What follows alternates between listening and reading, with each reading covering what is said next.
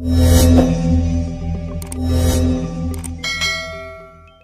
के अकेले ऐसे युवा नेता हैं जिनकी डिमांड पूरे भारत में खूब रहती है। लोग उनको देखना चाहते हैं, उनको सुनना चाहते हैं।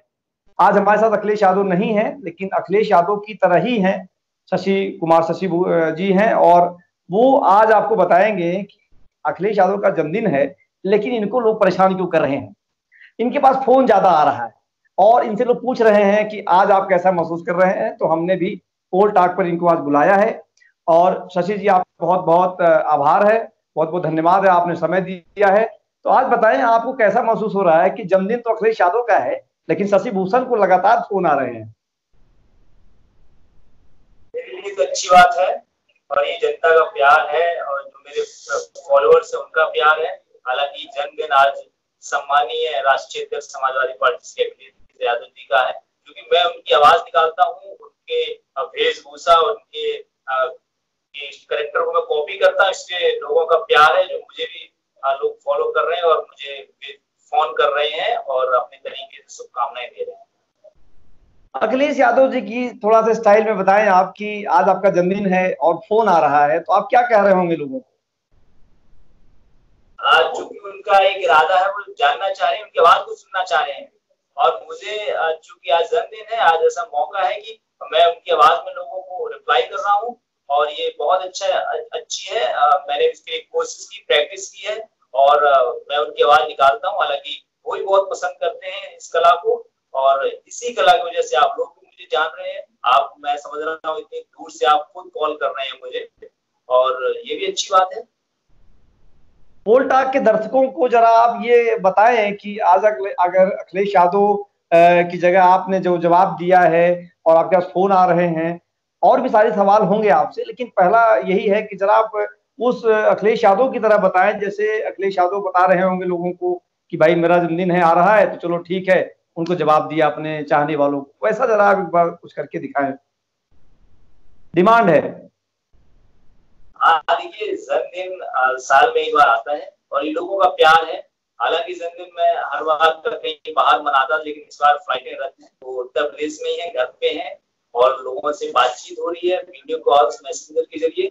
और ये बहुत अच्छी बात है और सभी को मैं शुभकामनाएँ देता हूँ, सभी को रिप्लाई है, मेरा बहुत बहुत बधाई है। हालाँकि कई लोग नहीं संपर्क कर पा रहे हैं, उनको भी बहुत बहुत बधाई। कर रहे हो, वोट भी दे देना। सैतालीस साल का एक मतलब जीवन है, सैतालीस साल में प्रवेश कर रहे हैं और हम लोगों ने 2017 में करीब से अखिलेश यादव को चुनाव में देखा था, आगरा से उनकी रैली शुरू हुई थी। एक चीज़ मेरे दिमाग में दो दिन से आ रहा है कि मुलायम सिंह से भी ज़्यादा अगर कोई मुलायम निकला आगे तो वो अखिलेश यादव हुए। चाहे वो राजनीति हो, चाहे उदारता हो, चाहे वो लोगों में पॉपुलैरिटी की बात हो तो ये मुलायमपन जो आप में आया, वो कैसे आया? जरा उसको बताएँ कि कैसे चीज़ों को आपने सीखा।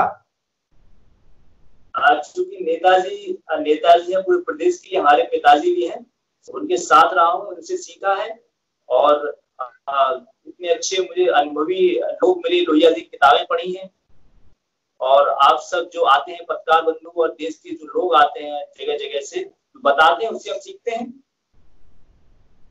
पाँच साल जो आपने चाचाओं के बीच में सरकार चलाई, उसका कुछ एक अनुभव बताएँ कि कितना कठिन रहा क्योंकि चाचा पहले भी सरकार चलाते रहे, लेकिन वो अपने बड़े भाई के साथ थे। लेकिन पाँच साल जो आपके साथ चाचा जो थे, पहली ऐसी सरकार थी जहाँ इतने चाचा रहे हों और पिताजी मार्गदर्शन की भूमिका में रहे हों। आपका क्या अनुभव रहा? अनुभव बहुत अच्छा था। क्योंकि मैं नया था, चाचा जी बहुत अनुभवी थे सबका साथ था और उनके जितने मंत्रालय थे, बहुत अच्छा काम उन्होंने किया। और ये मेरे लिए कहीं ना कहीं अपॉर्चुनिटी थी अच्छा मौका था। जो ऐसा अनुभव मिला मुझे? अच्छा तो आप पूरी तरह से चाचाओं से संतुष्ट हैं लेकिन अभी जो चर्चा ये आ रही है कि अखिलेश यादव जी फिर 2022 में चाचाओं से दूर होंगे या चाचाओं के साथ होंगे आपको जब जन्मदिन पे क्या कहना चाहते हैं अपने पार्टी के लोगों के लिए अपने चाहने वालों के लिए इन्हें अखिलेश यादव 2022 में किस रूप में आने वाले?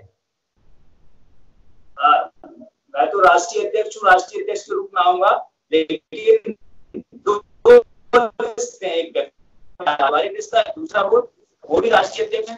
प्रगतिशील समाजवादी दो दो रिश्ते हैं राजनीतिक अलग व्यक्तिगत अलग है। राजनीतिक अच्छा। रिश्ते को की तरह डील किया जाएगा और पर्सनल व्यक्तिगत रिश्तों को व्यक्तिगत तरीके से डील किया जाएगा। अच्छा एक सवाल आप कर लेते हैं आपकी पार्टी के लिए। डीजल पेट्रोल का दाम बहुत तेज़ी से बढ़ रहा है। समाजवादी पार्टी इसको किस नज़रिए से देख रही है? क्योंकि समाजवादी पार्टी के लोग भी सड़क पे आ रहे हैं। आप क्या देख पा रहे हैं? डीजल पेट्रोल बढ़ने से क्या लग रहा है समाजवादी पार्टी की साइकिल पे कितना असर पड़ने वाला है? देखिए समाजवादी पार्टी लोग अलग तरीके से सोचते हैं। तो एक लीटर पेट्रोल का दाम है उसमें दो लीटर दूध आ जाएगा। दूध पियो साइकिल चलाओ। साइकिल की सवारी न प्रदूषण का बीमारी। मतलब सपा इसको सकारात्मक चीज़ों में ले जा रही है। अच्छा एक सवाल और कर लेते हैं कि 2022 का चुनाव होने वाला है। अब आपके लिए लड़ाई टफ इसलिए हो गई है क्योंकि आप उस समय पचास साल, उनचास साल के हो जाएँगे और वो आपके सामने आपके जो काउंटर पार्ट होंगे, योगी आदित्यनाथ, वो भी उसी उम्र में होंगे। क्या इस बार आपको फिर गठबंधन में जाना पसंद रहेगा या अकेले आएँगे? जनता जिस तरह आक्रोशित है, विरोध कर रही है सरकार का। मुझे लगता है हम लोग अकेले जा रहे हैं। और बाकी राजनीति है देख लिया जाएगा निर्णय ले लिया जाएगा। अखिलेश यादव जी आप अकेले आए थे राजनीति में। समाजवादी पार्टी 2012 में अकेले पार्टी चुनाव में आई और सत्ता बनाती है। लेकिन गठबंधन में कहा आप गुम हो जाते हैं? लगातार गठबंधन गठबंधन गठबंधन और आप गठबंधन में फेल होते गए। तो क्या लगता है कि आप आए थे अकेले और फंस गए गठबंधन में? गलत तो कुछ नहीं है हमारे लोकतंत्र का हिस्सा है। हमारा जो लोकतंत्र वो कहता है गठबंधन कर सकते हैं चुनाव में। आ, हम गए थे क्योंकि जो लड़ाई थी वो बड़ी लड़ाई थी। हमें एक तरह से खाई पैदा कर देती नफरत फैलाती उनके खिलाफ लड़ना था। सोचा था साथ जाएँगे लेकिन परिणाम अच्छे नहीं हुए।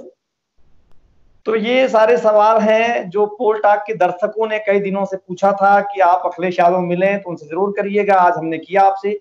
अब आपका जन्मदिन है आप सेलिब्रेट कर रहे हैं। क्योंकि आपने कहा कोरोना का समय चल रहा है, इसलिए ज़्यादा बाहर नहीं निकलना है। नहीं तो पिछली बार आपने मायावती को केक भी कटा खिलाया था और एक गठबंधन का चल रहा था, सब कुछ उस तरह का माहौल बना हुआ था। तो अभी आपका अंतिम संदेश क्या है मेरे पाठकों के लिए और आपके कार्यकर्ताओं के लिए? चाहते हैं। बीमारी बड़ी है, उसका चूँकि इलाज नहीं है। इलाज घर में रह के उसका हो सकता है, इसलिए आप स्वस्थ रहें, तंदुरुस्त रहें, तरक्की करें और घर में रह के जितना इस बीमारी से बच सकते हैं, बचें। और लोगों की मदद करिए क्योंकि समय ऐसा है कि एक दूसरे की मदद से ही हम लोग आगे बढ़ सकते हैं। अच्छा एक सवाल और है लास्ट है ये।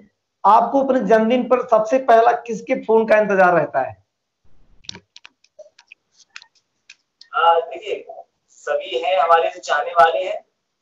जिसका मैसेज आ जाता है वही हमारा खास है। तो बारह बजे इस रात से देख रहे थे। कई लोगों ने किया है और सबको मैं बहुत बहुत शुभकामनाएँ देता हूँ धन्यवाद देता हूँ।